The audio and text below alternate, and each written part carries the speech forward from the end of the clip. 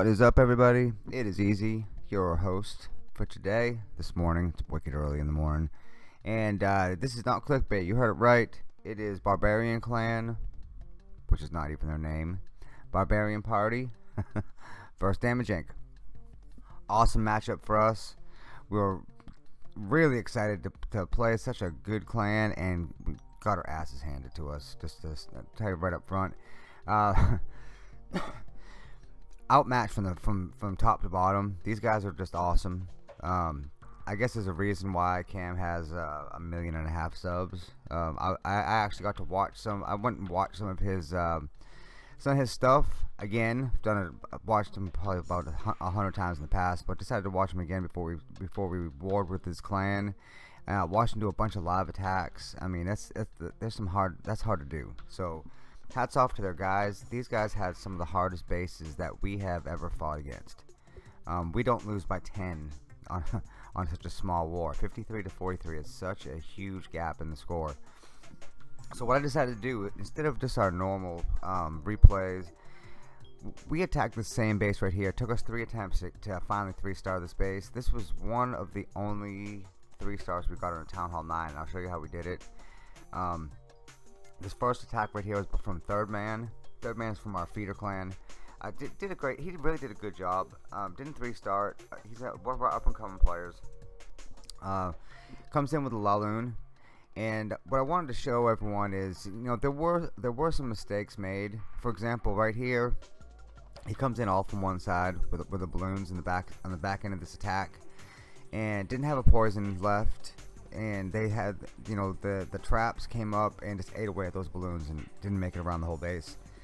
Should have probably tried a surgical deployment on those balloons um, but this was the first attempt on this base. We didn't know what was going on. There ended up being Teslas up in that top area which you know you're looking at it you can kind of tell that there's something up there. There's there's a reason why they have a ton of buildings up top. These these bases that are backed up against the corner um, a lot of times these bases are built by people that don't know what they're doing. Yeah, cause they're thinking the mountains are going to protect them. That was not the case. He knows exactly what he's doing. Uh, this is the second attack on the same base by oh, Yuki, I guess his name is. And uh, this is by one of our new guys. His name's Omer. And uh, done real well for us so far uh, in the Town Hall 9 position. Um, this is his favorite attack. It's the Gova I guess you call it. uses wizards instead of witches, which is uh, not really in the meta right now. But I've seen him do this attack a bunch of times. He's really good with it. Uh, what he decides to do now is he's going to he's going to plow through the base with the Valkyrie. He's going to come up through the bottom part, kind of just like uh, Third Man did. Pulls out the Clan Castle troops, deals with the Clan Castle troops kind of in motion, which um, he didn't get beat up too bad with that. Uh, the, he handles the Clan Castle troops pretty well. Valkyries come up into the core of the base and, and take out the core of the base really well. Uh, only problem with this is just a little carelessness on the planning. And, and it's not, I'm not gonna, I'm not putting uh, Omer down. It's, this is a great base design. You, I mean, look at it. It doesn't look like anything of a base, but it is actually a great base design. Um, it, it was very difficult to to have enough troops to get through the core of the base and then still be able to manage that top end, which that top end has the Teslas and a couple mortars that, that are protecting the Teslas. So he decides to come in the top end and he puts in a uh, like a big line of wizards to walk across the top end. He timed it to where the the barbarian king kind of tank forms, get the queen inside, also helping out. But the timing was just a little bit off, and the king got out in front. Uh, did did manage to tank for the wizards a little bit, but the the king ends up going down. Uh, level 17 king, so uh, he's got a little ways to go with the king still. Queen didn't quite have enough legs to make it through it, and I mean he was just a little off on, on taking that base out. So what we decided to do is send Wepo, who's number 18 in the war, two from the bottom, but he is one of our um, one of Creeper's accounts, and Wepo was actually one of one of I think it was his nephew's account, who was in the clan for a long time, great kid. Well, Creeper took over the account, and he has stayed at the Town Hall 9, I believe, and, and, and kind of pushed his troops up ahead.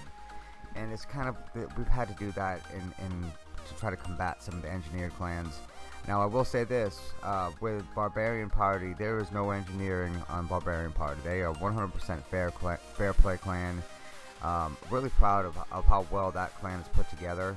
Uh, Cam's done a great job with that clan, with uh, with managing them. The, the, base designs are just incredible. Uh, so anyway, yes, there's the Grand Warden coming across the top of this Town Hall 9 in order to take care of it. We, I mean, this is how good some of these nines were. If you if you remember the beginning uh, of the video, I kind of scrolled down through all the nines. I think we three starred three of their nines. I mean, just three, and we had all of our Town Hall nines three star regularly every, every war. I mean, we had a couple guys that um, they averaged probably 5.75 stars a war. They six pack almost every war. They weren't able to three star. So this is what I've been doing. This is the website, uh, www.clashmadeeasy.com. It is the kind of second generation website. We had a Damage Inc. website, which uh, I don't know if you've ever heard the story on this. I'll tell you real briefly. We started off just because we wanted to talk to other clans in war, so we had a chat on our website. So uh, that advanced into having a guide because we had to go to the wikis and they were always wrong. Uh, they're a lot better now, but they weren't back then. So we decided to make our own guide. And uh, three years later, I finally finished it. And then came out the builder base. And so now we have our own. We, we, we built an entire website just as a guide. It's, it's huge. It's huge, guys. I mean, it has everything in the world on it. Um, just went through the base weight page. Uh, we've got every single troop, every single de every defense. This is the live stream page right here. Uh, we've tried to collect everything that we enjoy going and finding on the internet that, that clashers want and kind of put it all on one page. You can see all the different uh, topics, all the different all the different things here. It's just tons of information all in one spot. So uh, go check it out. Again, www.clashmadeeasy.com. Uh, okay, so we're gonna get into a couple of the three stars. We did have a couple of them.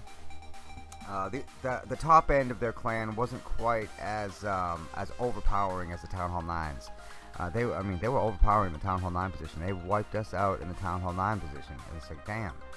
Uh, now this is uh, Kenny, uh, our number three versus number four, both Town Hall 11s, and I believe this Town Hall 11 is, is kind of like mine. I don't, I just got Town Hall 11, so don't have the Eagle Artillery yet. So he's at number four because he doesn't have the Eagle yet. So it's a lot easier for Kenny to manage this attack. Kenny, he attacks Town Hall 11s every war. So to, to attack a Town Hall 11 without the Eagle Artillery, you know, it's a pretty big advantage. I wanted to attack number 4 because he wiped my base like uh, like I was a Town Hall 7. so thanks a lot for that, um, Abdullah. So, Kenny comes across, he has, he, he's been using this Witch Slap now for, I don't know, last two months. And um, he's got this thing down to a science. I use the ability really well. Now, I'm just now at Town Hall 11. I, I think um, I've got my fifth attack recorded in this video. And for anyone that doesn't, that's not an 11, let me tell you right now, getting these troops inside this ability is not an easy thing. Uh, these 11s make it look so easy, it's not. Um, I usually get about three troops inside the ability, and usually there are three troops that are traveling to some kind of off defense or trash building. um, to actually get all the troops in the ability in a in a spot where it's where it's valuable, I, am still learning how to do that. So um, hats off to these guys that have just done so well. Um, you really learn how to appreciate. You really get some appreciation, some perspective once you make it to Town Hall 11. I, I pushed my way all the way to, to level 5 on the Warden right away so I could use the ability. It's such a powerful tool. Um, the Warden changes the whole game for you. It, it does for me. Um, but I still don't know how, don't play with the Warden worth a damn. so, Kenny gets his way through this base pretty easily. Um, got max walls in the middle. Uh, so, let's touch up on these walls. Uh, I'm, I don't think it's an accident. I think they knew what they were doing. Um, I'm going to, now when I say Cam's clan, this is the Barbarian Party, and uh, Cam, for for those of you who don't know, he's just he's a little YouTuber with like 1.7 million subscribers. So I mean, he giant representative uh, to the game and to the other YouTubers out there. Uh, really nice guy. Don't know him personally. Been watching his channel for a long time. Got to play his clan. They, you know, it was just a, a real overall. Yeah, we got our asses handed to us, but it was still a really great experience for the guys. Everyone was excited to play him. Um, but now they have been really smart with the way they've upgraded their bases. Now, granted, there's no lopsided bases in the clan. Now they have they have taken their time with some of the defenses and gone and done the walls first. And all of the walls and all the nines were maxed. And I'll be the first one to testify. That made it so difficult to attack these bases.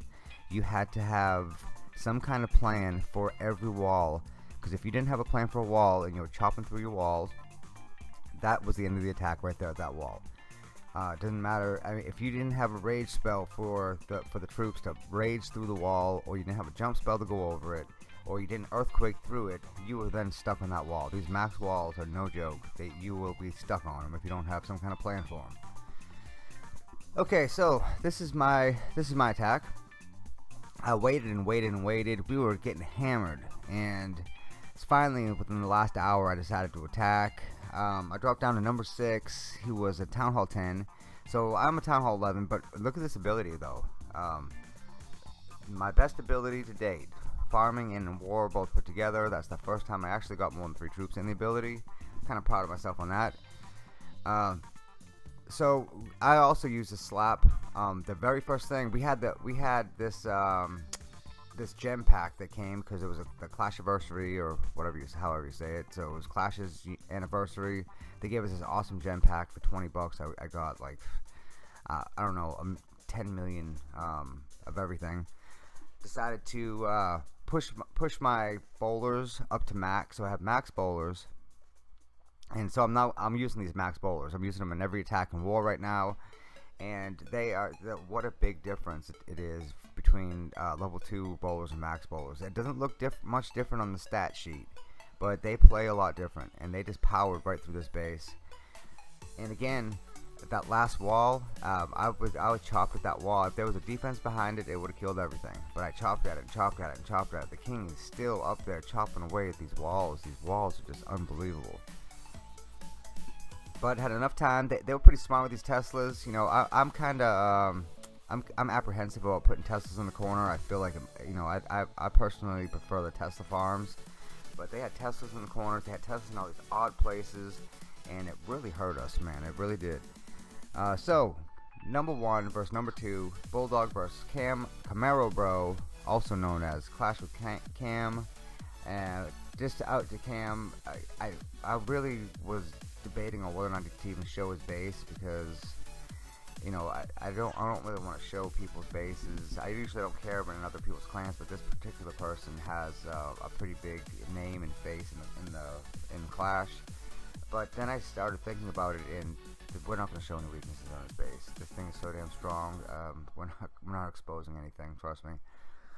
Uh, Bulldog had he's one of the best attackers we've ever had in the clan. He's three star regularly. I mean, such a strong player. Um, he was really looking forward to this attack and wanted to really show his stuff.